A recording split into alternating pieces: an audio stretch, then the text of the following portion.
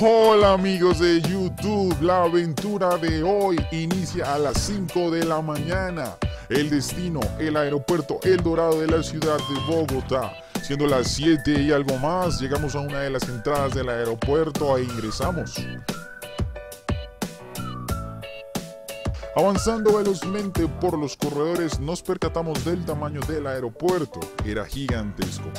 Veíamos como la gente tenía prisa y caminaba muy pero muy rápido. Nosotros seguimos por el segundo piso hacia la entrega del boleto. Un ascensor, varias tiendas, cubículos de entrada de tickets y una gran visual hacia la pista estaban ahí.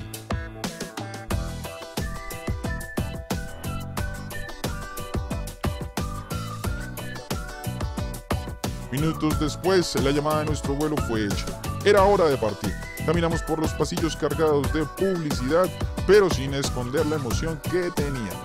A las 9 y 5 llegamos al filtro para el vuelo. Acá tuvimos suerte de poder grabar, puesto que las personas encargadas no permitieron ni dejaron sacar cámara.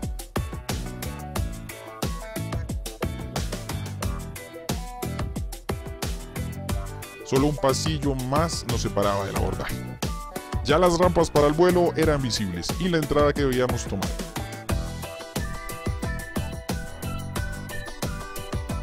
Y, las hay. Las rampas que nos llevarían a la entrada del avión.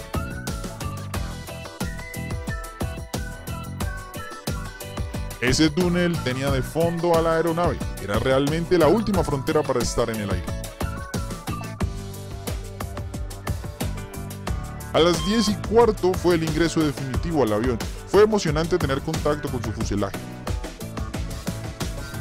Una vez dentro del avión, tomamos los asientos correspondientes mientras escuchábamos todas las instrucciones para tener un vuelo perfecto. Cada asiento contaba con una pantalla, audífonos, control remoto y una comodidad tremenda. Este trayecto del viaje, los auxiliares de vuelo lo llamaron carreteo y tardó alrededor de 15 minutos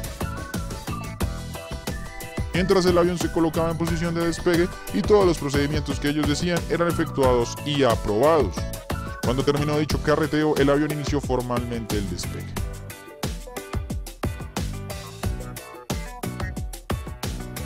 El ruido de los motores era ensordecedor, la velocidad alcanzada era tremenda, la sensación de estar en el aire es única. Con una vista increíble y algo de vacío en nuestros estómagos, ya estábamos volando.